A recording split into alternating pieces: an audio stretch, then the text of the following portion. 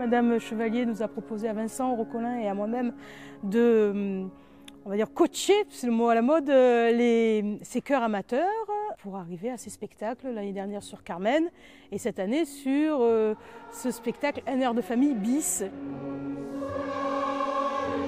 Cette année, en 2019, on a cherché, avec euh, évidemment euh, l'impulsion de Valérie Chevalier à la direction et, euh, de Benoît Bénichou qui met en scène le spectacle, on a cherché un programme beaucoup plus varié. On a quelques verdis qui sont très populaires, mais on a réussi à, mettre aussi du Gluck, son Orphée Eurydice. On a réussi à mettre également Britten, un interlude qui s'appelle Storm, extrait de Peter Grimes.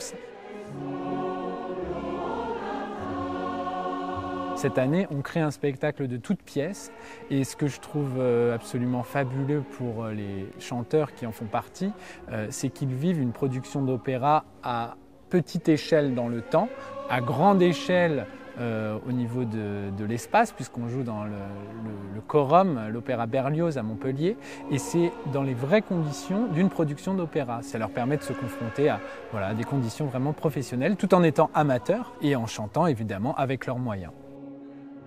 Il faut savoir qu'il n'y a pas de prérequis, ils peuvent arriver sans connaître la musique, sans jamais avoir chanté. Ils viennent en famille, euh, mère, fille, petit-fils, petite-fille, et ils s'inscrivent dans le but de partager ensemble, d'avoir un, moment où ils font de la musique ensemble. C'est souvent sur des passionnés de musique, d'opéra, mais aussi des gens qui découvrent cet univers, qui ne le connaissent pas, qui ne savent pas comment se servir de la voix.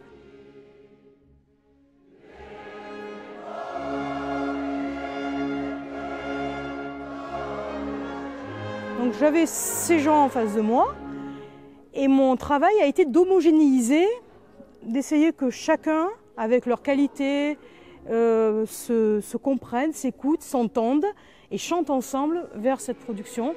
Et pour cela, ben, en fait, on a fait beaucoup de techniques vocales, purement, leur apprendre à chanter, à placer une voix, euh, leur donner des, codes euh, du lyrique, qu'est-ce que c'est que le chant lyrique, et bien sûr euh, leur faire découvrir une partition, parce qu'il y en a qui pour eux c'est des hiéroglyphes.